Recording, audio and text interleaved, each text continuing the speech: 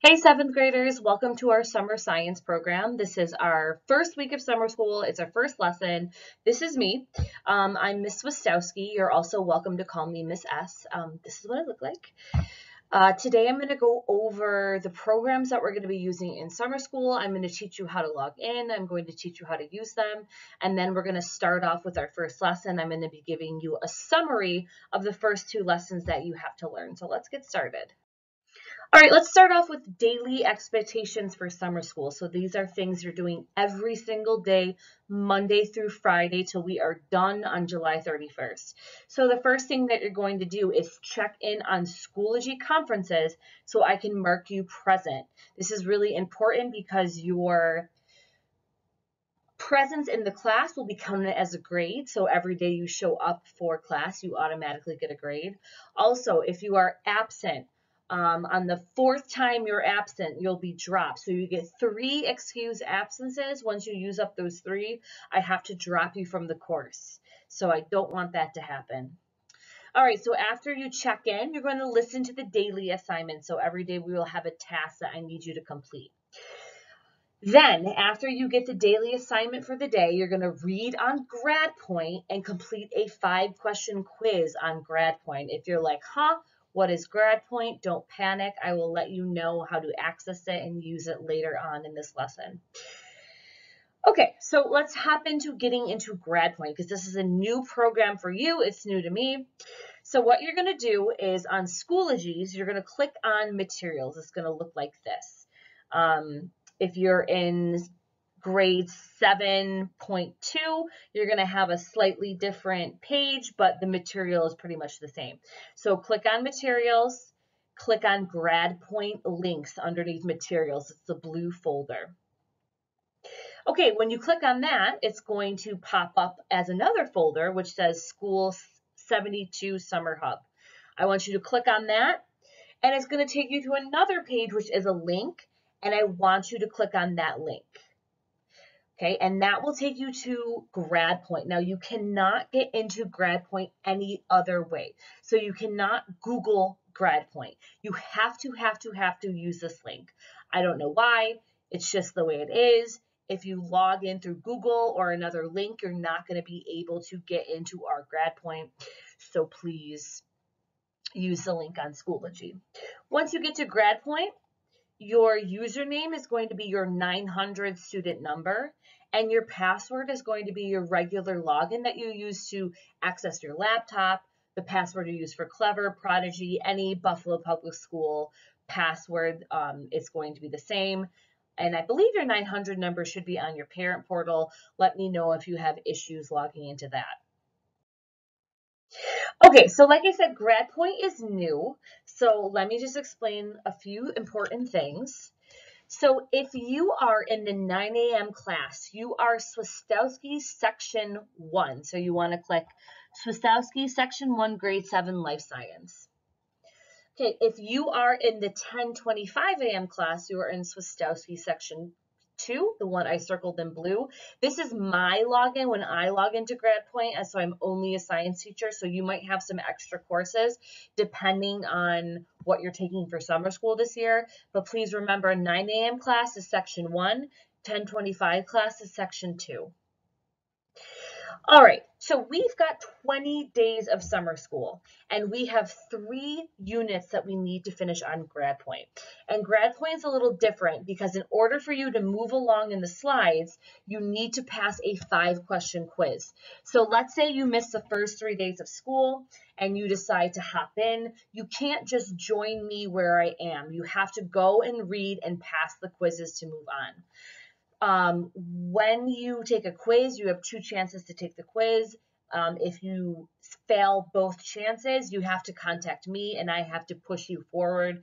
Um, so that will take time and I don't want you to lose time on the quizzes. So really read and pay attention when you're reading on GradPoint. I will give you an overall summary.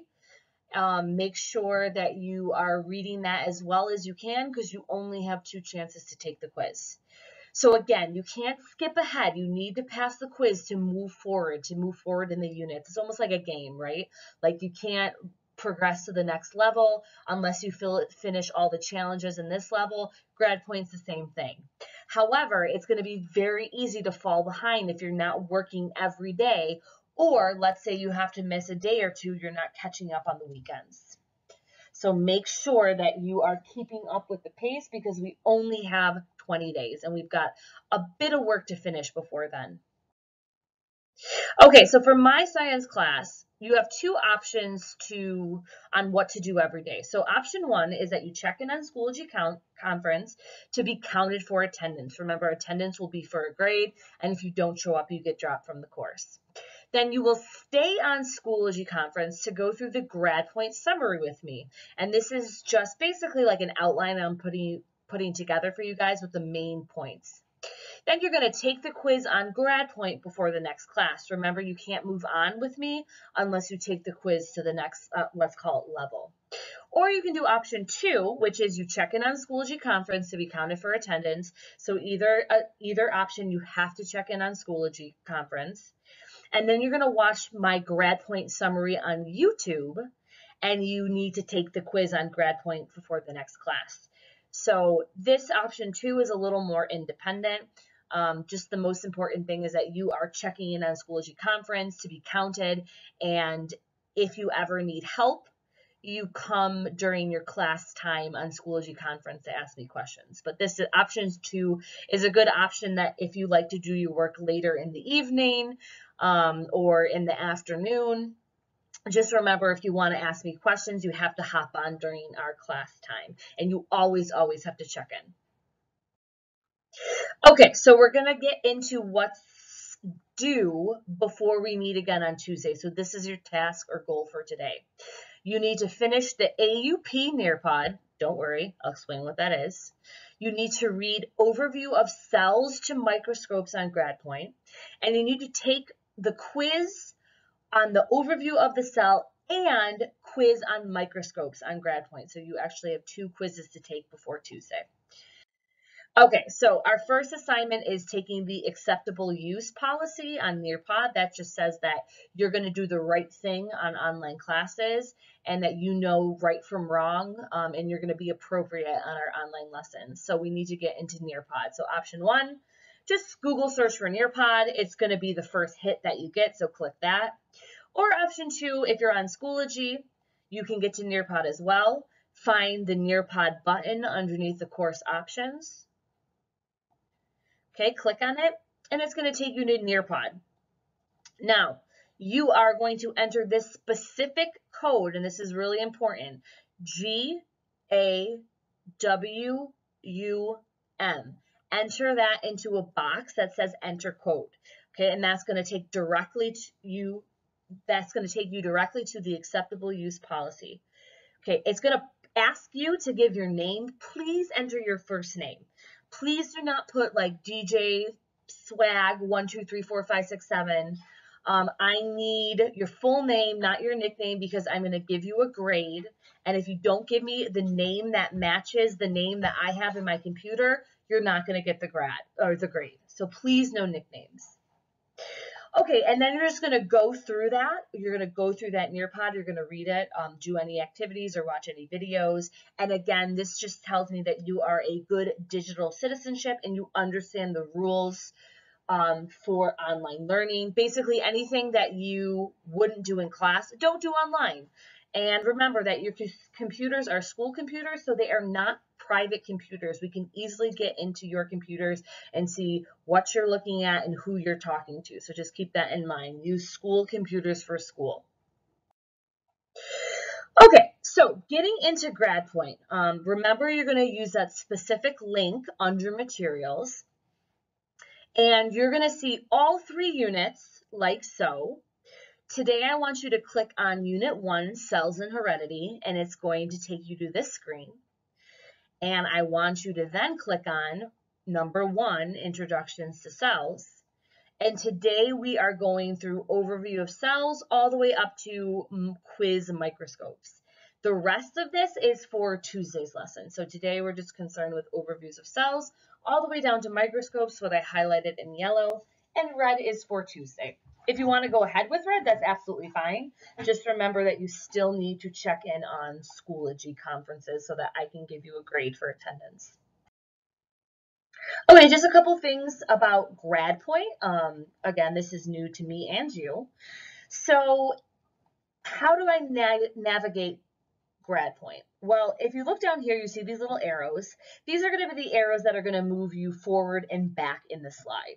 Um, if you have to leave GradPoint, I would suggest clicking Save and Close. So it saves your spot and it closes you out. And then when you log back in, it'll take you back to that spot. Also, if you have trouble reading or, you know, maybe you struggle with English, I would suggest hitting text to speech and it will read the slides out loud to you. It reads it kind of in a robot voice, but it's better than nothing. Okay, also, if you get to a page like this and you see these three blue dots, you need to uh, move these dots around because these circles means that there are more slides to look at. So you're going to use these arrows and you have to go through all of the blue dots in order to go on to the next slide. Okay, so use these arrow to move the slide. And if you're ever having trouble navigating in GradPoint, it's probably because there was a button that you didn't click. So if you're having issues moving um, and you're like, ugh, I read everything on the slide, make sure there's no arrows or anything for you to press. And then once you press that button, um, you can go on. Like for examples, if there's videos, you cannot move on the slide unless you play the video first. So here's an example of things that you might have to press. You see these little red like explosion dots. They're called starburst and you need to, if you see them, you need to click on them and they'll usually give you a picture or some text. All right, so let's go on to the summary of what you guys are learning. Again, this is like an outline that I made for you, okay? So it's best if you read first all of GradPoint, then read the summary, and then use the summary to try to try to help you take the test. I think that will be the best. So we are on our overview of cells.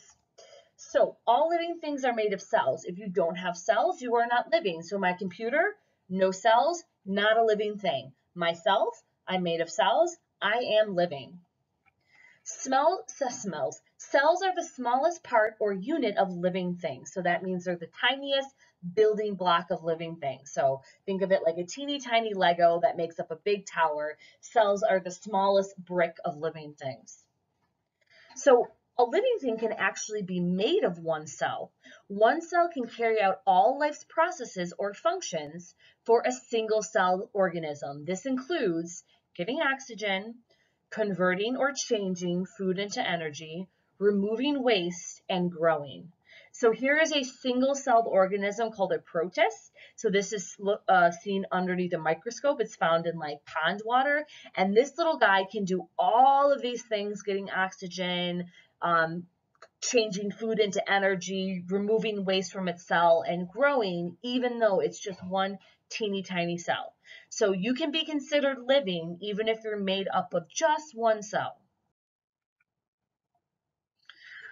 Okay, if you are not a single-celled organism, like I'm not a single-celled organism, you're not a single-celled organism. If you look out your window and see a tree, a tree is not a single-celled organism. Remember, plants are alive. They're made of cells. So if you have more than one cell, you are called a multi or many-celled organism. In multi-cell organisms, cells are put together like bricks, like I talked about those Lego bricks. And we call groups of cells that hang out together tissues. We call groups of tissues that hang out together organs. Groups of organs that hang out together are called organ systems, and a bunch of organ systems together make up an organism. So let's look at a picture. Um, I've got a picture that goes all the way from the smallest unit, which is a cell, up to the biggest unit, which is an organism. So remember, cells make up tissues, tissues make up organs, organs make up organ systems, and organ systems make up organ organisms. So this is called the levels of organization. Cells is the smallest, organ system is the biggest, and a bunch of organ systems working together make up an organism. An organism is a fancy name for a living thing. I'm an organism, your dog's an organism, a tree's an organism, A flower's an organism. Anything living can be called an organism. So you may or may not know this, but cells are very small and cannot be seen by the human eye. You need a microscope, which is a tool that magnifies or makes things look larger than they are to see cells. So this is a typical microscope you'd seen in your classroom. Maybe you've seen one, maybe you used one before. And there are two types of microscope. There is a single lens, which is a one lens only, or compound microscope with many lenses. Usually in our science class, we'll use a compound microscope. This microscope is a compound microscope because there are three different lenses. Okay, so we're going to learn a little bit of history. So Robert Hooke invented the first microscope and he built a compound lens microscope. That is a microscope with many lenses. Using his microscope, he looked at cork, which is actually a type of plant, and saw tiny boxes he named cells. So this is a picture of what he probably saw underneath his microscope. So his invention of the microscope helped people learn and discover more about cells. Remember, you can't see cells without a microscope. And so once he invented, invented that microscope and people could look at cells, they started learning more about cells. All right, another important guy is Anton von Leeuwenhoek and he observed or saw single-celled organisms in pond water and drew them. He called the organisms, which again are living things, that he saw underneath the microscope animalcules. So that's not like a word we use in science anymore, but that's a word that he used. And I know it might not seem very impressive that he just drew stuff underneath the microscope, but remember, there was no internet, um, so people relied on pictures to learn more about the world around them. All right, there are two major types of cells, plant and animal cells. So plant cells have a thick, strong cell wall and are shaped like a rectangle. Animal cells do not have a cell wall. So the biggest difference between a plant cell and an animal cell is that cell wall on the plant cell that kind of gives it that boxy shape. And animal cells have a more irregular shape because they don't have that stiff, strong cell wall. All right, more history. Scientist Rudolf Virchow discovered that all cells must be made from other cells. Now we know this happens because of mitosis, which is a word for cell division. So that's what he looked like. And another important scientist called Matthias Schleiden discovered that plants are made of cells. And I know that doesn't seem impressive right now, but remember, people didn't know much about cells because they couldn't see them. So both men and other scientists came up with the cell theory, which is a set of rules or explanations that help explain the relationship of living things. And again, this might not seem important in this day and age, but remember, back then, it was really a big important scientific discovery that helps explain where life comes from. Okay, we're moving on to our second part of the lesson, which is the microscope summary. I know it might seem like I'm going fast, but remember the summary is just an outline. It's just a condensed short version. So if you're feeling confused, I would suggest going back and reading or rereading what the grad point slides have to say. This is just an outline to help you kind of organize what you've read before you go and take the quizzes. All right, so mm, remember that microscopes are made out of lenses, and lenses in a microscope actually bend light to magnify small objects. A type of lens that bends light is called a convex lens that bends light inwards. And this bending of light inwards creates magnification, which will make a small object appear bigger. Okay, let me point out some stuff, um, some pieces of the microscope. This black thing up top, this is called the eyepiece, and this is what you actually look through. So you put your eye near or on the eyepiece, and you're able to see what's underneath the microscope.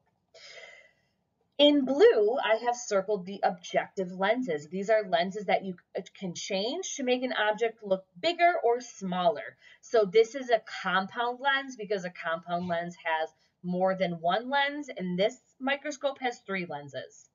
And they all hang out on this rotating disc, and they're called objective lenses. All right, so we got to do a little math. To figure out how much an object is magnified under the microscope, follow this equation. Total magnification equals the eyepiece lens times the objective lens. The eyepiece lens, remember that's the lens that you actually put your eye through and look through, is always 10. So if you're using a 10 objective lens, you're going to set up your equation like this. Total magnification equals 10 times 10, which equals 100. So I can say that when I'm using the 10 objective lens, the object that is underneath my microscope is magnified 100 times by the lenses. All right, so sometimes when you look underneath a microscope, it is blurry. Like when you try to take a picture on your uh, phone, but maybe the camera is focusing on, you know, the tree behind your friend instead of your friend's face and your friend's face is blurry. So when this happens when you're looking underneath a microscope, you can move the object closer or farther to, to the lenses to make it clearer or sharper. So there are certain microscopes that let you see small objects more clearer. The better or stronger the microscope is to see an object more clearly is called the resolution. So if you really want to study something in, in detail, you need a high resolution microscope. A microscope with the highest resolution that you can possibly get is called an electron microscope, and it uses tiny particles called electrons to see objects in great detail. So let's look at an example. This is the same object. It is a very small piece of algae. That's that green stuff that grows on top of ponds. And on the left, it's underneath a compound microscope, and you can see it's very blurry but on the right, it is underneath an electron microscope, and you can see it in way, way, way more details, and you can actually see that there are little holes, um, and you couldn't see that underneath a compound microscope. Okay, guys, that is it for our two summaries. Remember that you need to go back and finish the two quizzes and also the acceptable use Nearpod. Uh, let me know if there's any questions, and I look forward to seeing you guys tomorrow.